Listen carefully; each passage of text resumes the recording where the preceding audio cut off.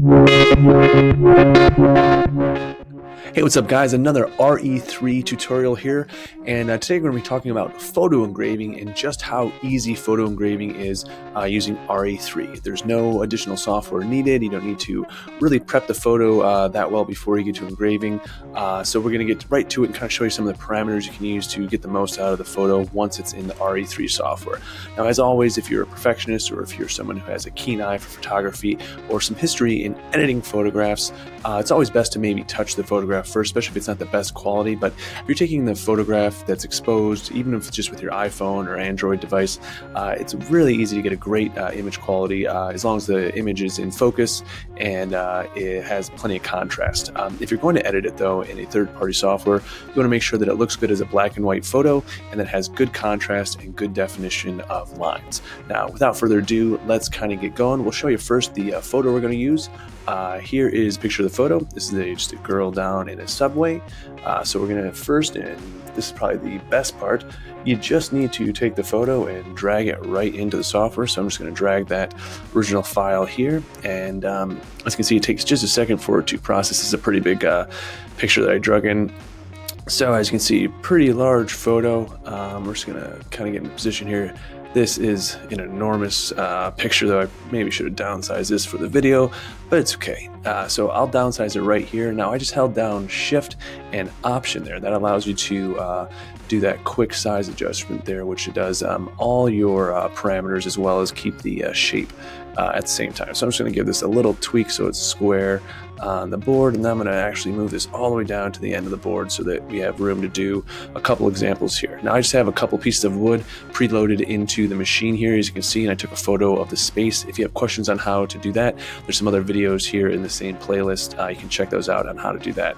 But today we're talking specifically on photo engraving on this. So I'm just going to uh, zoom in to a 100% here and actually 150% uh, just so we can kind of see what's going on. So and give you one more so that we can just, get a little closer. Now, uh, when you're doing a photo engraving, uh, the first thing we need to do is look over here on the right hand side to the raster properties. You'll notice that when you uh, drag and drop a photo in, you only get one layer, and that is a bitmap layer indicated by this uh, little symbol right here next to the uh, name of the uh, file. and then over here, you want to make sure that you have the halftone dither option selected. Now, you could do a photo with threshold. There are plenty of you know reasons reasons why you'd want to do that. You just have to adjust the black and white threshold to kind of get the look you're going for. This photo not the best purpose for you. You'd probably have to do something close to this to get anything recognizable out of it. But uh, using halftone dither, the software automatically applies uh, different settings for the amount of darkness on the page. So essentially,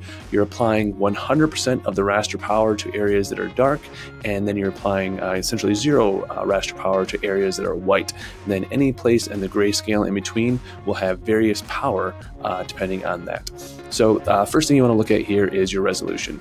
They can do photographs at any resolution. When you're doing photographs on granite and other hard surfaces or any type of uh, anodized aluminum, it's really best to keep the resolution at 250. Now, as a reference, most photographs are about 300 uh, DPI for resolution. So 250 DPI resolution photo uh, still looks pretty good engraving, but just when you have coarse things like uh, rock, granite, or anodized items, it's really the only way to get a uh, photo uh, engraving to look really good is by using 250 DPI. Now, there are rules of thumb, uh, I guess, exceptions to that rule, of course.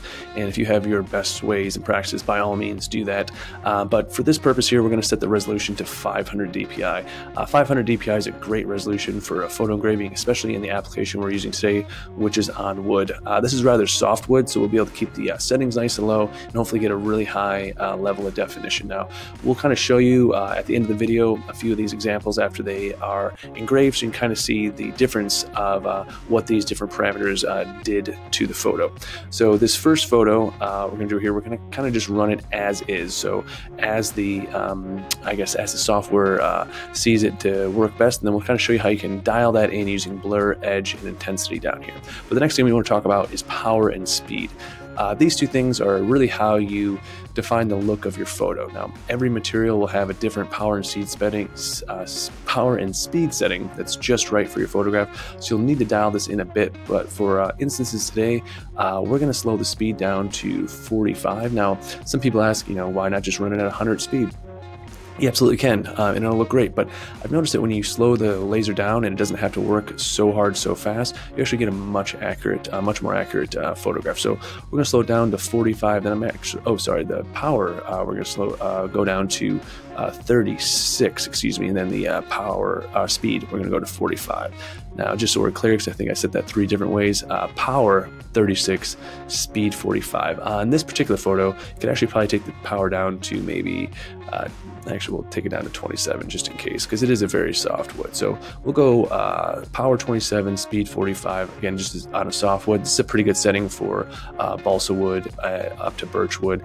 Uh, when you start getting into uh, heavier and harder things like cedar and oak, um, settings change a bit, and actually it's a little bit harder to get the same type of look out of harder woods with photo engraving, especially if you're going to do a little depth with it. All right, so now to, I guess, the, uh, the thing everyone came here for is that what do these three settings here do? Blur, edge, and intensity. Well, First thing, blur. It's actually uh, pretty self explanatory. Uh, as you increase the blur, the amount of uh, definition uh, in the photo uh, goes away uh, just a little bit. Now, the blur is good because it allows the computer to kind of like I don't say um, massage over, but really hard lines that would stand out and maybe look a little odd, it kind of uh, dampers those down a little bit. So there's a preset blur of 7. Now you can take that blur down to 0 and uh, move it all the way up to 30. But we're going to keep it at 7 for this first one. Um, now the second one is edge. Now you can see even if I just move the edge up to about halfway to 12 and then move it all the way up to 26, I think the tap here is uh, 30 again. But as you can see, it takes a lot of the definition out of the blurriness of it and really just focuses on uh, the things that are in focus. Um, but as you move the edge back down, you'll notice you get much more of the uh, the detail in the background and stuff like that. Now, intensity is the third setting here, and this uh, also could be called brightness um, or illumination, uh, in, depending on what type of uh, software you use. But simply by putting illumination, or excuse me, by intensity up, you're just adding light to it. So you're just bringing more light to it than as you put intensity down, you're just darkening the photo up. Now, this isn't an exact representation of what your engraving will look like at all. Um, we just do this uh, low resolution rendering so that the file renders fast and your workflow is as fast as possible. So what we'll do here at the end of the video is just kind of show you um, a couple examples of this photo with some of these um, settings you know, changed and altered a little bit so you can kind of see uh, the different effects. Now, uh, for different effects of how power uh, and speed affect your raster, we have a couple different videos on that as well. So go ahead and check out our YouTube page uh, for more on that. But again, uh, to do photo engraving using uh, Retina Engrave version 3.0. It's really, really easy. Just drag and drop the photo in. Uh, no editing really needed. Uh, you can fine tune it here by using uh, these settings uh, if needed, uh, but again, not not needed at all. So we'll go ahead and run this job off as well as a couple more with these settings change, and we'll show you here at the end of the video exactly what those look like.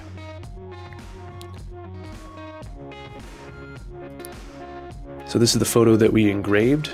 And as you can see, um, the first setting here where we had um, your blur up a bit, you can kind of see the effect uh, that that had. Uh, then on the second one where we uh, affected the intensity, oh, excuse me, not the intensity, but the, uh, the edge uh, that is kind of what you're seeing here. And then on this third one to the right is where we uh, adjusted the intensity a bit. In this case, we just increased the intensity a little bit to brighten up some of the uh, darker edges.